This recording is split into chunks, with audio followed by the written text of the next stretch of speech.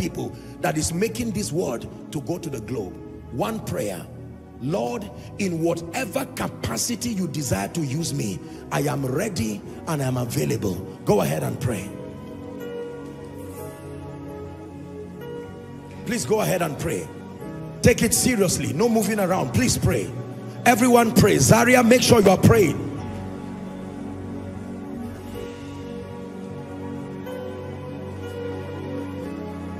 Go ahead and pray. Sali barato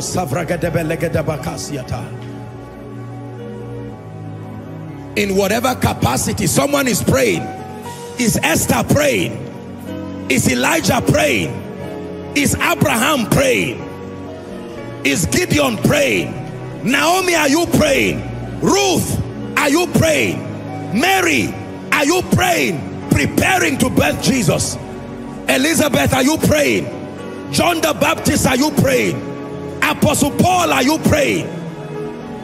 Everybody has a role to play. The mother at home has a role to play. The banker has a role to play. The kingdom billionaire has a role to play. The politician has a role to play.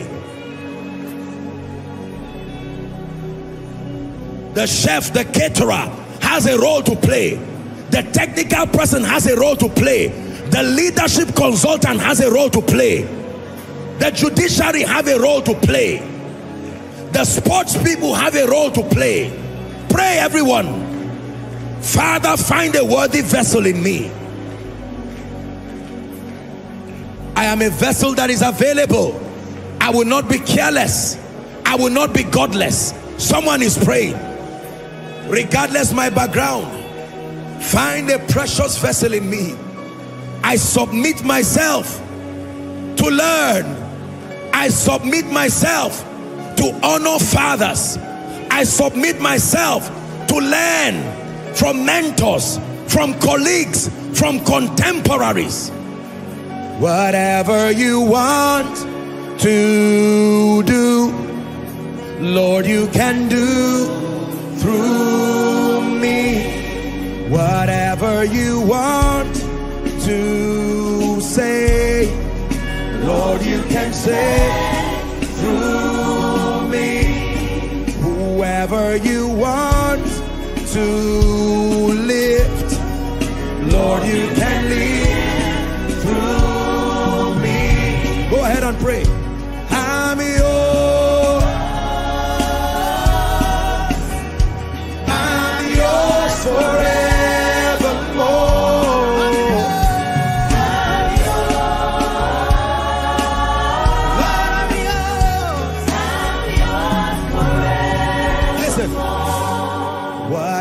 whatever you want to start, Lord, you can start through me. Whatever you want to end, Lord, you can end through me.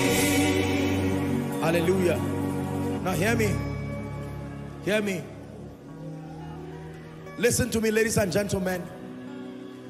I want you to go and listen to this message and give everybody you can find. This is a prophetic message to the body of Christ that this is truly the generation. What will make us different from other generations is not more fasting. Wrong. Not more prayer. Wrong. Not more Bible study. Wrong. It is the privilege of an election of grace with the humility of heart this is a generation that God will use because we are the generation that has chosen willingly to hide behind the cross and to recognize that all that will be wrought in righteousness through us will happen because the price has been paid.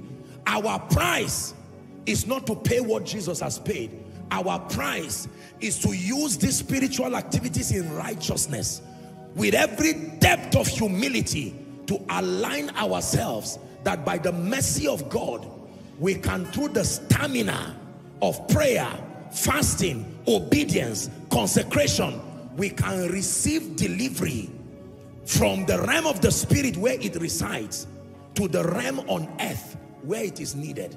This is your assignment. Any other thing after that, the devil has given you a burden that has no rewards. I have studied my scripture. I have learned from people who produce results. And by the privilege of God's grace, the bit that we have produced here, I can tell you with audacity and with the confidence of scripture, legalism, pride, self-righteousness, believing that it is on account of what we have done, it will not earn us anything. We will only waste our time and be shouting week after week until we become old and watch in shock that God's program is never birthed. Hear me. We are not better than the generation of the fathers before us. It is simply an election of grace. So I speak to every warrior. I speak to everyone who is part of this army. The reason for our excelling has never, will never be because we paid a greater price. There is a price to pay, but the price is the price of delivery, not the price of creation. When David held the sling, that sling is like his fasting. That sling is like his Bible study. That sling is like his consecration. That sling is like his prayer. But the sling in itself cannot bring down Goliath. It is the revelation of the name and the one who represents us and who we represent that made that happen.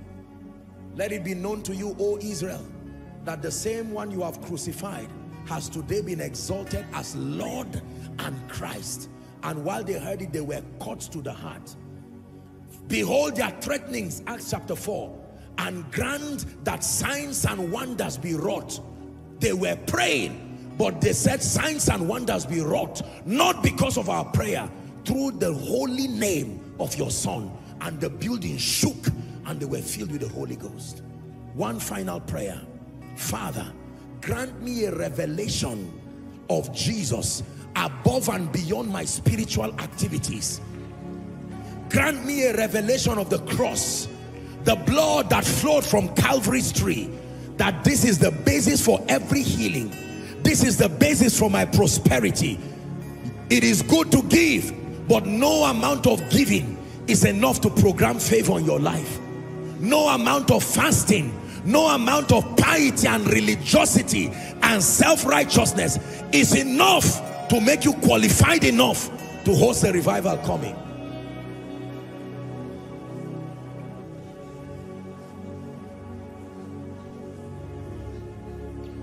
In the name of Jesus, the Son of the living God. Go ahead and begin to pray in the Spirit.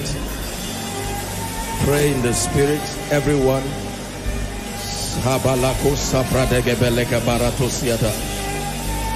Go ahead and pray in the Spirit.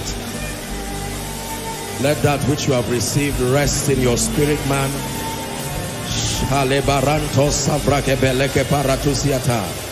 This is koinonia. Rate bara sobrande bala sobreke parato shabrendege belato ziata. Someone is praying.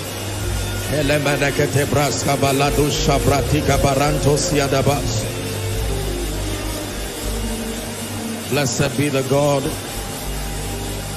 our Father, the Father of our Lord Jesus Christ. We worship him in spirit and in truth. Shanakata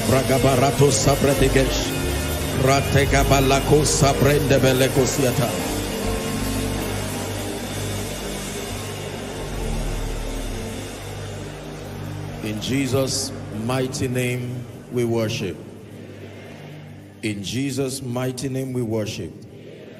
The Bible says, now the Lord is that spirit. He's not the only spirit, but he is that spirit. That spirit that brings translations in the spirit, that lifts people. You see, without the presence factor, there is no church. It is beyond the paraphernalia, it is beyond the activities. What brings power to the things that we do is the presence factor. You can fake power, but you cannot fake presence.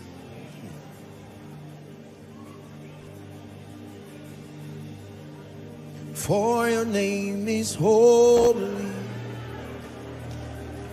holy,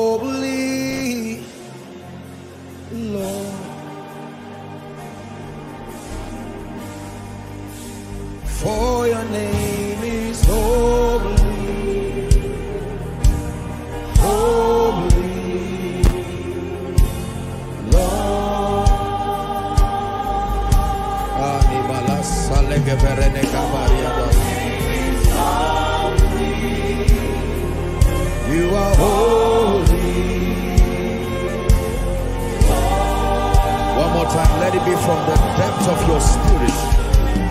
For your name is holy.